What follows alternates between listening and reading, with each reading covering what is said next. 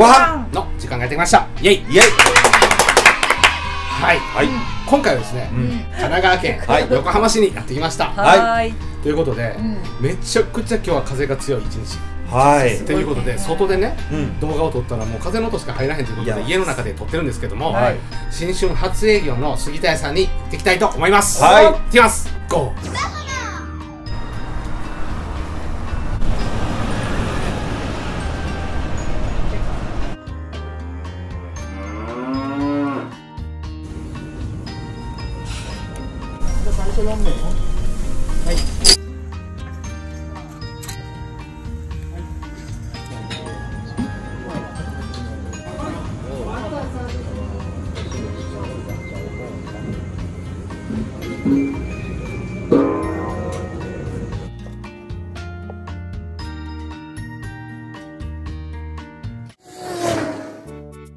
しては、埼玉さんアリーナで、っしゃ。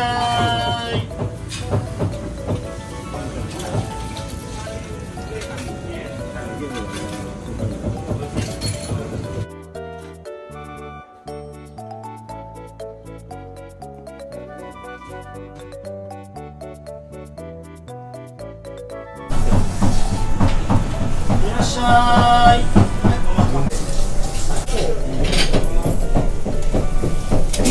you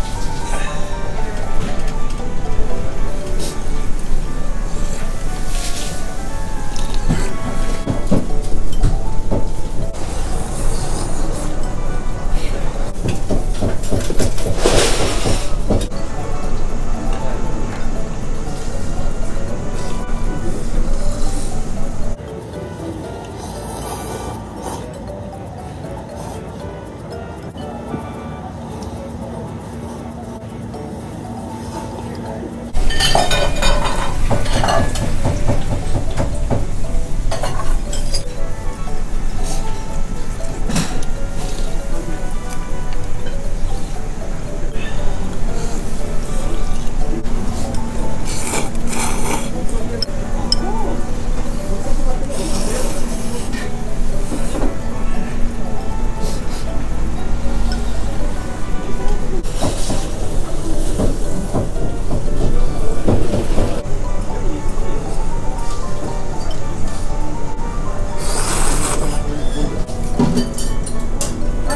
はい、お迎えますよね、座られたら食券大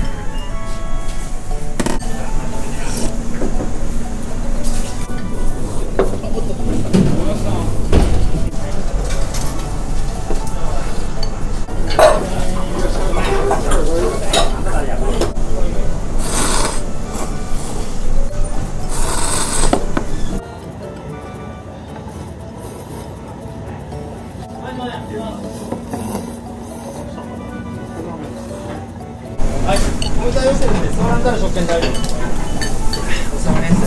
おお、よいしょ。あ、おっとっとっと。どう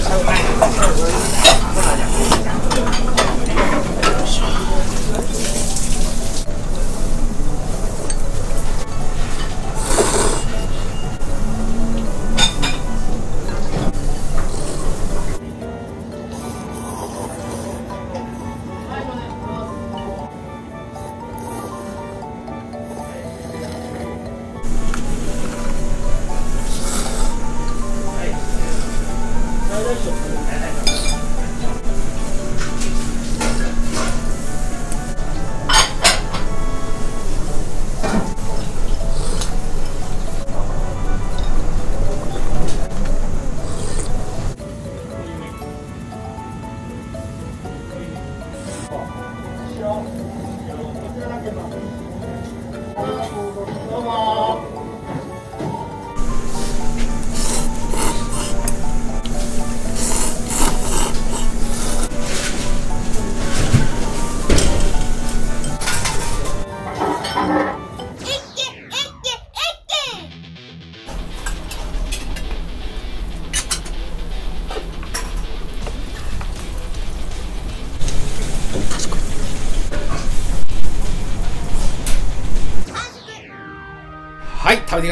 そうさまでした。ごちそうさまでした。はい、ということで、はい。い、やもう本当この風の中、うん。すごい人が並んでたんですけども、うん。あの寒い中で待った後の一杯ってやっぱりうまかったですね。うまかったね。うまかったですね。まあ、うん。どういう状況で食べても美味しいんですけども、確今日はなんか若干なんか鶏が多めのような感じがしましたね。そう思いました。あスープがかなりこうマイルドっていうか、うん。杉田屋さんにしてはクリーミーなね、うん。なんか少し感じがしましたねうんうんうんうんうん。で自分結構今日思ったんだけど、う意外と鶏の風味強めなの？うん。